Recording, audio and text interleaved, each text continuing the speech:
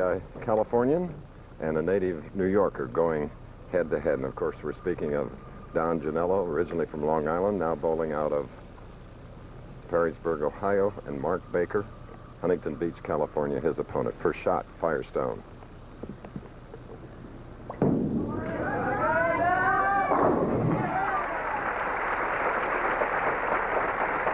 Don Genalo, eighth Firestone appearance, his best finish, fourth in 1986.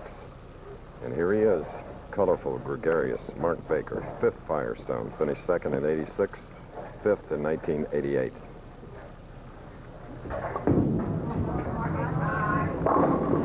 Nice crossover strike ball, so a little good fortune on the part of the Californian. Baker, the big, powerful player. He has a five-step delivery. He has that cupped release at the top. Good push away, and it's a tremendous wrist action, and he throws the biggest hook, I think, of all the players today. Uh, Ballard throws it kind of more of a curve and a little bit softer, so Baker trying to capitalize on an early break. Coming up a little high. he has left the four. To set up the championship pair, you saw Baker crossing over on 28. Lane 28 hooks quite a bit more than 27. 27 kind of holds and should favor the down and in player like Genalo.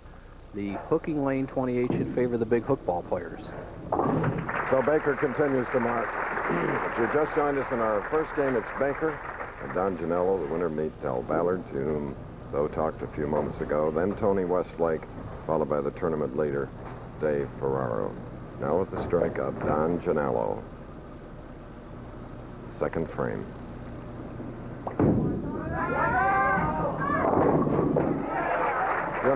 The fighter type.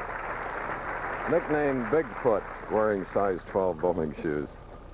Long span. He's got a kind of a shuffle four and a half step delivery. Just ideal style. Locked arm swing, shoulder high. Then he has the deep knee bend and really kind of posts that shot, that good follow through, and he sets it until the ball hits the pins. A great practice, especially under pressure. As you look at that real long span, full four, five and a half inch grip in that club. All but the 10 pin. Satisfied, uh, not with the fact he left it, but because of the hit, he thought he might have been worse. Genalo, a college player, went to Robert Morris University, won the College Union All Events in 1977, beating fellow PBA champion Jeff Bellinger. Easy spare the 10 pin.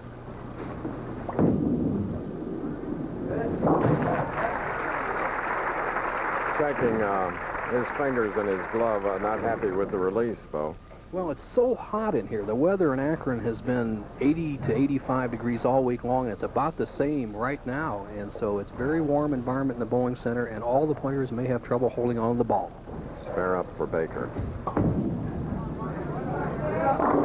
It Was very close to the channel, and it's a second strike. Earlier, we asked uh, Mark what a Firestone win would mean to him today. Uh, my game evolved to where I really had no timing, and I, I tried to do something I wasn't. I got my power out of the game. I went back to Reno, Nevada, saw my coach, Bill Julian. He got me straightened out in about two days, and uh, I'm sitting here today. Thanks, Bill.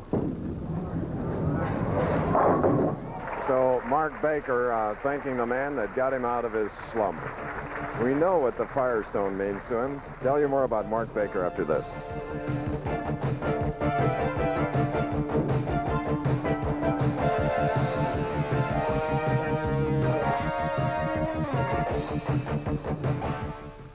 We put our Firestone Firehawk GTX to the test.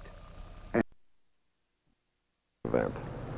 Don with the spare up shooting in the fourth.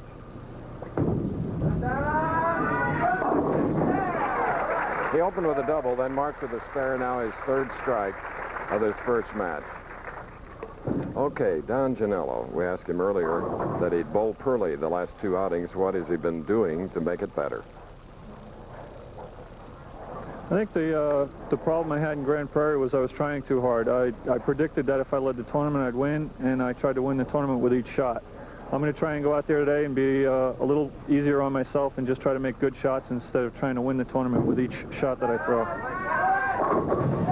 And That was a good shot to take the lead from Mark Baker momentarily at least, leading by nine pins. Genalo, who was fourth in the Pinole Open and second at Quaker State.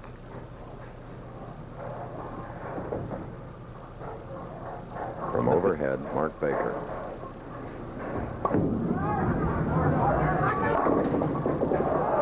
There it is.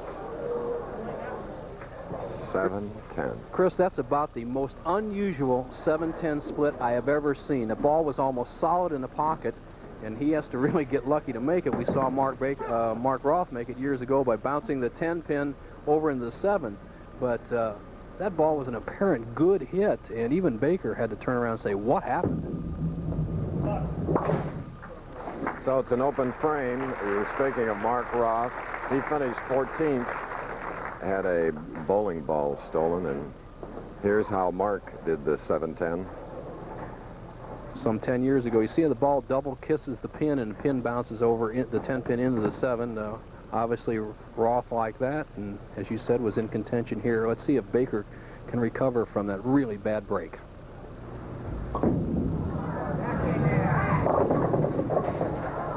And now Mark Baker, the Californian, played with the second split Nelson.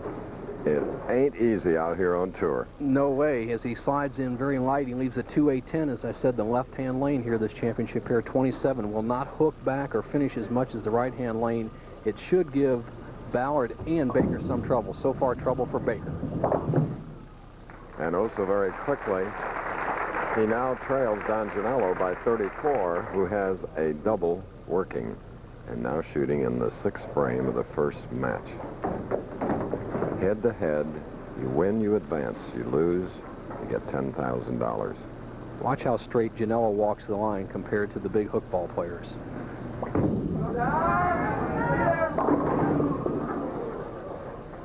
Four pen. Don has been noted to talk to the bowling ball. Uh, his sign language sort of tells you the story of how he felt about the shot. In other words, he was lucky to get away with only the four. Well, he's playing the proper line. Around the second arrow, playing the track or Warren area on the right side, and it, favors his type of shot. There's Mary Genalo of Perrysburg, Ohio. Just so nervous and why not? This is the 16th stop of our winter tour, and it's the major event, the Firestone.